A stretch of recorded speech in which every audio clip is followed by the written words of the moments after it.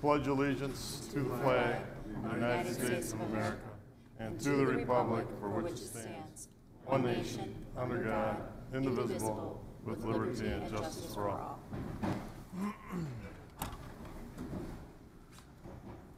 Roll call, please.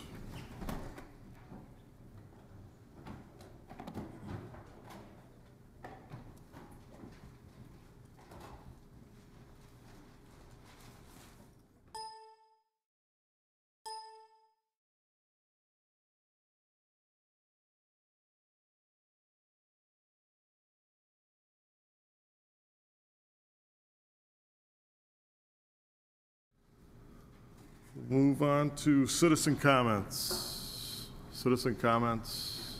Citizen comments are closed. Announcements to the chairman. I just appreciate everyone that came in this evening, braving the rough weather. Drive carefully home. We'll try to make this meeting as short and sweet as possible. Supervisor reports. We'll go on to supervisor reports. Supervisor Rose, you have the floor. All right, thank you, Mr. Chairman and board members. Uh, Recently, I was talking with uh, one of the jailers at our jail facility who made the comment that the jails are becoming the local new mental health institution. He had worked at the county jail for a number of years and commented to, to me as a supervisor that um, he has seen a ever increasing number of people who are housed in the county jail with serious mental health problems. Uh, this is an issue that uh, is one which uh, flows throughout the country. If you read um, recent issues of our national county um, newspaper, uh, they relate that many communities throughout this country uh, are noticing that county jails are becoming new mental health institutions. And this is something that has been fairly new in the last uh, five years, and it's a building problem. Uh, in our most recent budget, we had uh, an increase in mental health uh, uh, expense of some $200,000 uh, offered by the Sheriff's Department, which we approved, and, and I think it's a very positive step. But one can see that this is going to become a more costly issue as time goes on and as the problems increase. This particular jailer who commented to me said that uh, we don't really have the training to deal with the kind of mental health uh, issues that we are seeing. And I can see that this is going to be a ever building problem.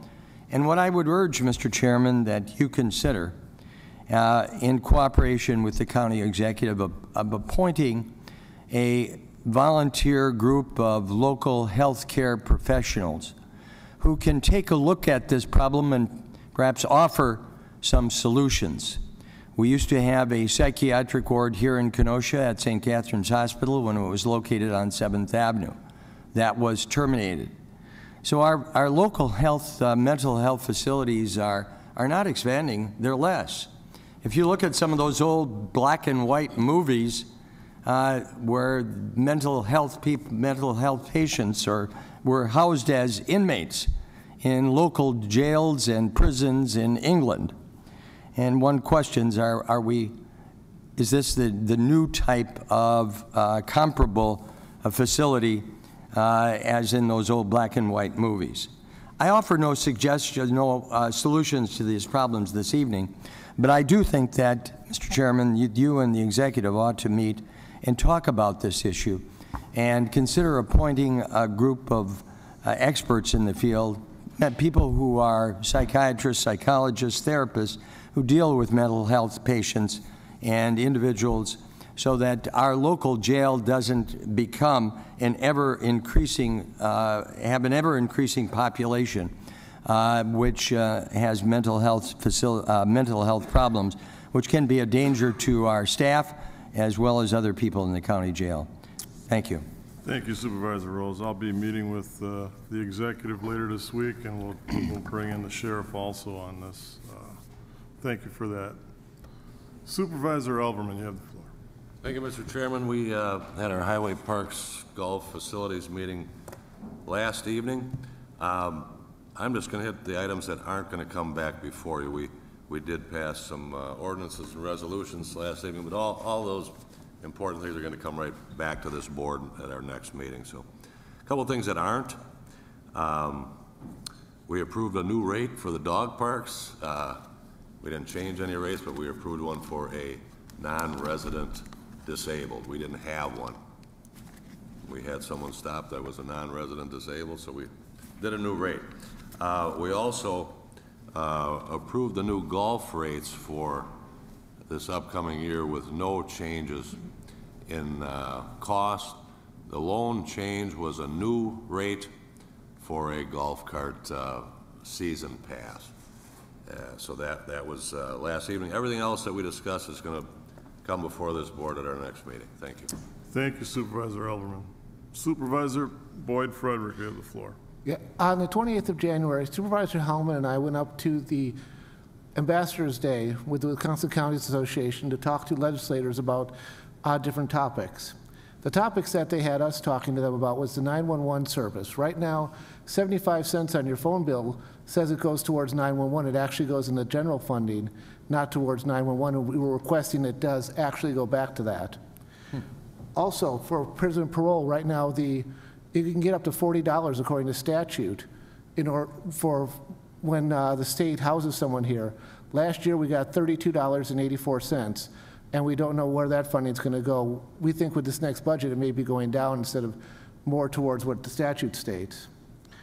Also, uh, the county clerk was with us up there part of the time, and one of the major things they're looking at is a change in, in where they would post the minutes and election items. And she spoke on that to many of the different legislators up there on what it costs for the county to actually do this on a biweekly basis. Also, the last thing is, and we've seen it since uh, we were up there, is was transportation funding, and it looks like it's going to be about $1.6 billion this year. We had no idea when we were up there how much that would be. Uh, The day we went up there was very interesting timed. We happened to be up there with TV cameras when uh, they, they delivered a letter on the casino, 10 different legislators from this area. And Channel 6 was there talking to Senator Wanggaard and Representative Barca while we were up there. And as many of you may know, the budget address for the governor is happening as we speak. I- So we have no idea what it will mean to the county for the next two-year times budgets. Thank you Supervisor Frederick. Seeing no other lights, clerk, the appointments, please. County Executive Appointments. Number 36, Sandra Basiglia to serve on the Kenosha County Board of Administrative Appeals. Refer to Human Service Committee. Number 37, Edmund Weaver to serve on the Kenosha County Aging and Disability Resource Center Board. Refer to Human Service Committee. New business. Resolution, one reading. 87, from Human Services Committee, a resolution to approve the appointment of James Schmidt to the Kenosha County Veterans Service Commission, submitted by Supervisors Hallman, yes, Gable, yes, Anita Johnson, yes, Erin Decker excused, David Arrington absent, Supervisors Blau, yes, and Retzlaff, yes. Supervisor Hallman. Thank you, Mr. Chairman. If there's no objection, I'd like to move Resolution 87, Resolution 88, Resolution 89, Resolution 90, Resolution 91, and Resolution 92 upon being read. Is there any objections to that? Seeing none, go ahead and read it into the record, and after you're done reading the record, we'll vote on it as a whole. Okay. Resolution 88 from. Pardon Hu- me? Uh, From Human Services Committee, a resolution to approve the appointment of Supervisor Michael Gable to the Kenosha County Human Services Board, submitted by Supervisors Hallman, Gable, Anita Johnson, yes, Erin Je- Decker, excused, David Arrington, absent, Uh, Supervisors Blau, yes, Retzlaff, yes. 89, from Human Services Committee, a resolution to approve the appointment of Supervisor Rick Dodge to the Kenosha County Human Services Board, submitted by Supervisors Hallman, yes, Gable, yes, Anita Johnson, yes, Erin Decker excused, David Arrington absent, Supervisors Blau, yes, Retzlaff, yes. 90 from Human Services Committee, a resolution to approve the appointment of Janice Erickson to the Kenosha County Commission on Aging, submitted by Supervisors Hallman, yes, Gable, yes, Anita Johnson, yes, Decker excused, Arrington absent, Blau, yes, Retzlaff, yes. 91 from Human Services Committee, a resolution to approve the appointment of Julie Ray Friedman to the Kenosha County Commission on Aging, submitted by Supervisors Hallman, yes, Gable, yes, Anita Johnson, yes, Decker excused, Arrington absent, Supervisors Blau, yes, Retzlaff, yes. And number 92, from Human Services Committee, a resolution to approve the appointment of Herschel Rialis to the Kenosha County Commission on Aging, submitted by Supervisors Hallman, yes, Gable, yes, Anita Johnson, yes, uh, Decker excused, Arrington absent, Supervisors Blau, yes, and Retzlaff, yes. Okay, um, Supervisor Hallman, would you move all those together, and then I'll get a second, and then uh, we'll just vote on it all as a whole then, okay? I, i- if I'm not mistaken, I believe Supervisor Gentz seconded it. Okay, I'm sorry. So it's been moved by Supervisor Hallman, second by Supervisor Gentz to move all these 87 through 92, simple majority. All those in favor, say aye. All those opposed, yes. What's your question Supervisor Noble? Um, In past, last year, Right. uh, we always had the attendance for the people succeeding themselves. We we would have on the resolution what their attendance was. Okay, So my question is, first and foremost, I'd like to see that pra- uh, practice continue, but then my question to the chair of the committee, did you, were you advised of what the attendance was for these people that are succeeding themselves? For the very least, I think the public should know that the people being appointed are actually attending the meetings. Uh, Through the chair to uh, the Supervisor Noble, um, that's certainly a legitimate question. Um, Those were not raised during any of our meetings, as I'm sure you will tell from listening to the audio. Uh, Moving forward, we will certainly keep that in mind and try to abide by it. So thank you for the heads up. Okay. And to make it easier, I think it should just be like it used to be, right in the resolution, then we know. good point. Okay, thank you. Thank you. Supervisor Retzlaff? Nothing. Nothing there, okay. All right, so we moved, moved and seconded, and it's been passed by everybody. We'll move on to the next order of business. Claims, please. Number 33, Jason Grant Striplin, vehicle damage. Refer to Corporation Counsel. Number 34, Jasmine Curtis Coleman, vehicle damage. Refer to Corporation Counsel. Point of order, Mr. Chairman? Yeah, Um, I I don't, bel- excuse me? I I don't believe we took a vote. Yeah, we did. I- I said it was a simple majority, and and I said uh, Okay, 87 through 90. okay. No, there was just Do some all question those in behind me, so I favor? just wanted to make sure. Okay. We voted, but Okay. All right, let's go back to the vote now, okay?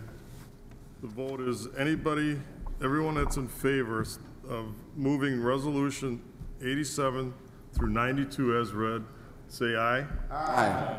All those opposed, 87 through 92? None, okay, so passes unanimously. I hope that clears up the mud. Okay. We'll move on to, did you get interrupted on claim 34? Nope, we finished that. We We're finished that, we'll, okay, we'll go on to approval then. Approval of the January 20th, 2015 minutes by Supervisor Gable. Supervisor Gable? I move, do we accept the minutes?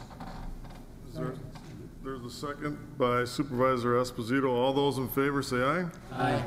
Motion to adjourn? You should say the date of the minutes. Oh, okay. There's been a motion to adjourn by Vice Chair Breunig, a second by Supervisor John O'Day. All those in favor of adjournment? Aye. Thank you. Don't My nays. light's staying on.